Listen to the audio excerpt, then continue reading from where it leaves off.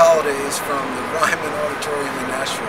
Uh, it's my last day here before I go out on tour, so I just thought I'd wish you guys a happy, uh, happy Christmas, Merry New Year, and all that good stuff. And I'm going to try to send some blogs from the road, these, uh, you know, maybe some sound check stuff and stuff like that, because is really going to be a unique tour.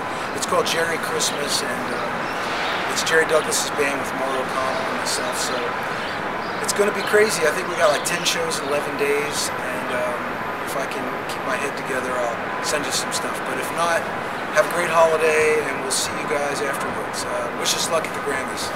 See ya.